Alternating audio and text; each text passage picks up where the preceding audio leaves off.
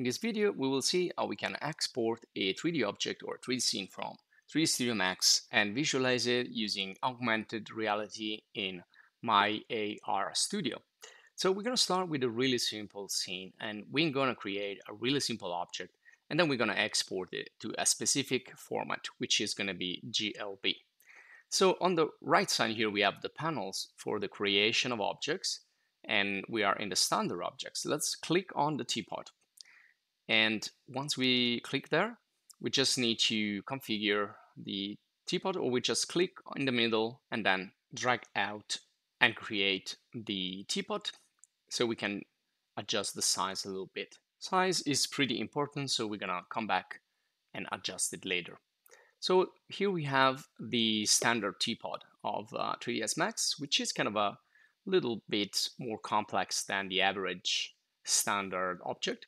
So we can test it better in the augmented reality visualization in the smartphone.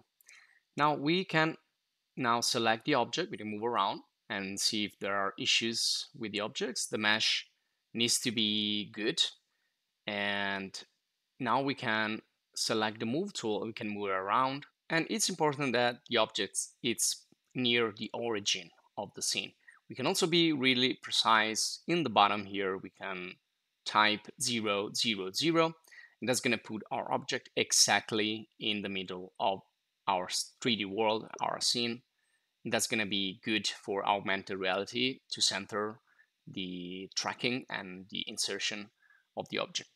So when the object is selected, we can also move to the Modify tab, which is the second tab here on the right, and we can change some parameters. Now for the teapot, we don't have like a specific size, but we only have like a radius.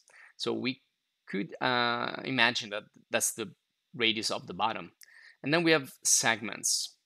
So um, make sure that the size is not too big and that we have enough segments. And these are other parameters. You can see you can turn on and off pieces of the teapot. You can make it smoother or not by clicking on the smooth. So we can adjust a little bit this object. Now, before we continue, let's go to the customize unit setup and let's select a specific unit. So we're gonna use like millimeters or centimeters for this. Let's go for centimeters. So now we can see that this is the actual radius. So perhaps it's a little bit too big. So let's make it more realistic. We can also measure the object using other techniques and tools, but one thing that I like to do that is really easy is just create a simple box. Now for other objects, it's simpler to define the size because you actually have the length, the width, and the height. For the teapot, we don't have like a specific measure, but we can use a box or we can uh, put a measurement that it's well, not too big, not too small. It needs to be, you know, realistic and close to reality. So once we've adjusted the size, we can proceed to the next topic, which is the polygons or the faces, which is defined by the segments value. Now, if we go in the view default shading, we can change and adjust the view using the edge faces option so we can actually see the segments. So segments are nothing but subdivisions of the object. So the more you increase the subdivisions, the more faces you will have. Those are called polygons. So the more polygons you have, the heavier the object will be, but also with better quality. So you need to define a good level of detail, but that is not too heavy because you, you need to then upload and download and make operation with your mobile phone and your connection. So make sure it's not too heavy make sure it's not too rough and with a uh, few polygons.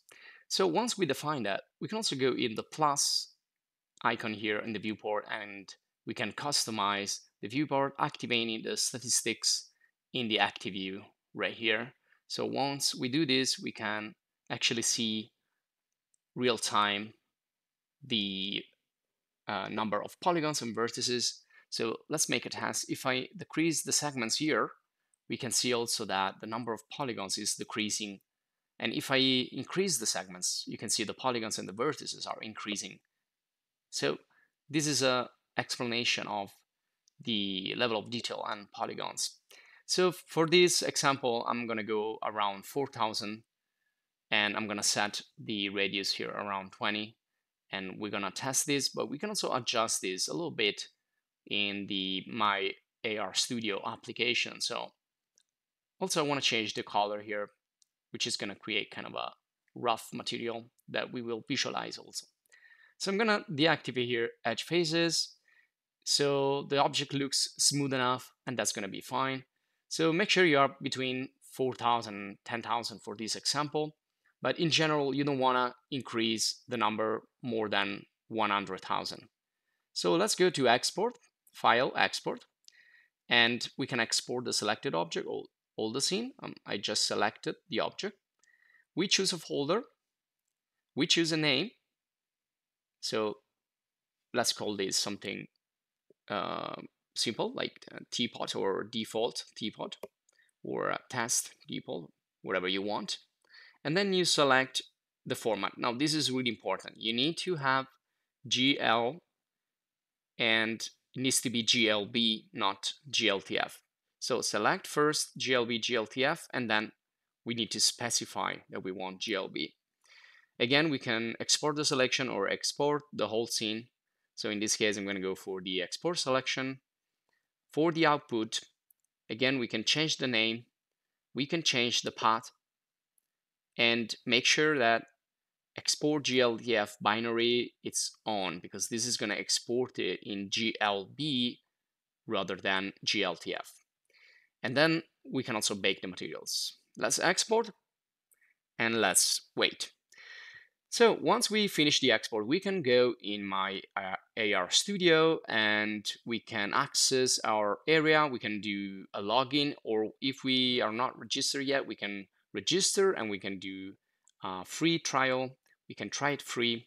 So once we are in, we registered and we logged in. We are in our space.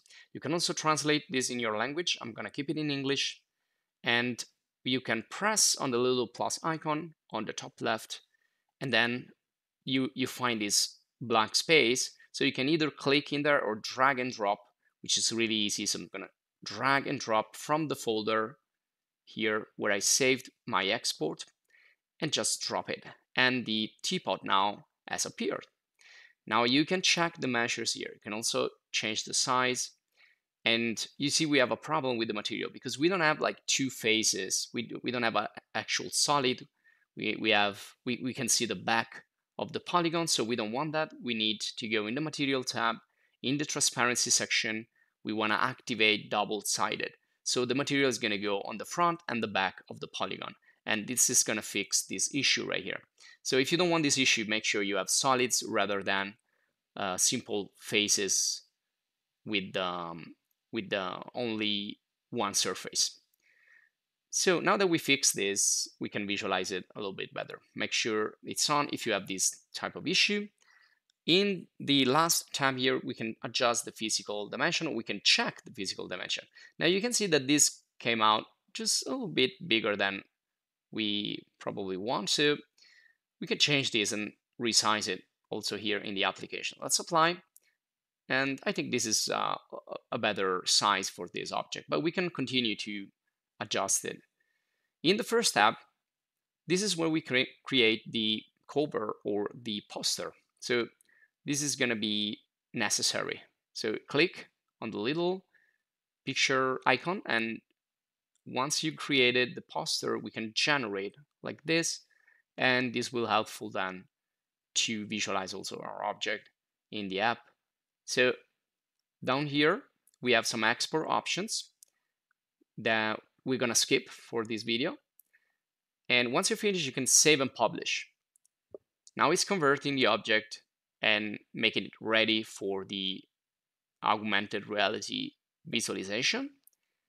And that's it. So it changed the interface now. So now we have preview options. We can expand. And down here we have uh, different types of um, sharing functionalities. So this one here is just to copy and paste the link. So the, the objects is currently online, is published, so anyone can see it if you can share this link and you can send it via email, etc. You also have this um, HTML code that you can embed in your website if you want to publish it in your website. And then you have other methods, you have other um, features here like the QR code.